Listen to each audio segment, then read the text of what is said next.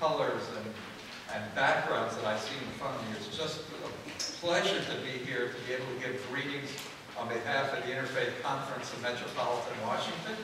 We've been around for 38 years. Uh, we have strong communities in Maryland. We have strong communities in Virginia. And uh, we're proud to be associated with this very wonderful uh, gathering. This is uh, the first of its type, I believe, in the Washington area although the Interfaith Conference has been uh, sponsoring for the last uh, four years a youth summit. It's actually occurring on this coming Sunday.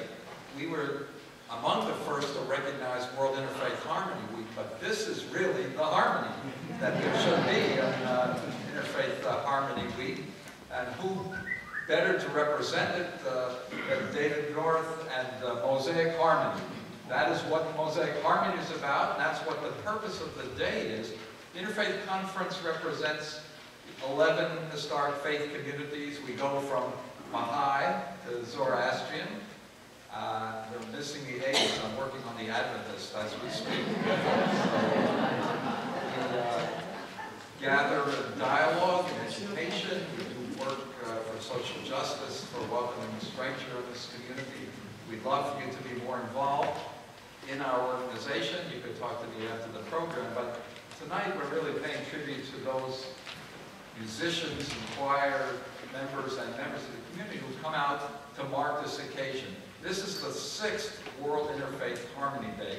It's actually the idea of King Abdullah of Jordan, proposed it to the UN in, uh, I think, in a speech in September of uh, 2010, and it was passed by the UN General Assembly unanimously, which is surprising.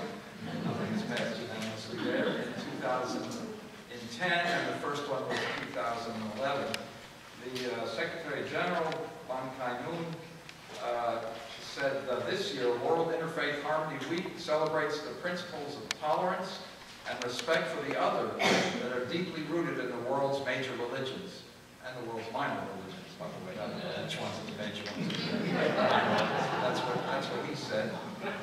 Uh, the observance is also a summons to solidarity in the face of those who spread misunderstanding and distrust. What better time than now to have this observance with what we're seeing in our society, which has the capacity to celebrate difference, and it also has the capacity uh, to be xenophobic and to fear difference. And uh, this is a challenge to that xenophobia, our gathering here tonight. Uh, Ban Ki-moon said, uh, tolerance, I'm, tolerance and respect. I think we should aim for something higher than tolerance and respect. Tolerance is, I'm willing to tolerate you being in a room with me, but I don't really care for you very much. Back on my teacher jobs, but I to- tolerate you. I think we're looking for love.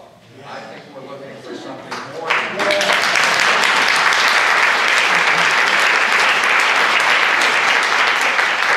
I think we need each other. We need each other to be better, whatever our own religious path might be. We need our Baha'i, the Zoroastrian sisters and brothers in order to complete who we are, whether we be Christian, Jews, Muslim, Buddhist, Baha'i, and Hindu, and I can go on and on, but we're here to, uh, to celebrate and to sing together. Whenever I, uh, in the presence of, uh, of choirs, and especially I think this year, I think of that children's uh, ditty, All God's Critters have a place in the choir, some sing low, some sing higher. Uh, critters are on my mind, and it should be all of our minds actually, because the earth is crying out to us uh, as we sit here tonight. The earth itself and the critters that live on the earth is crying out to us. And so are the poor and vulnerable from members of our community to communities all over the world. They're crying out to us tonight.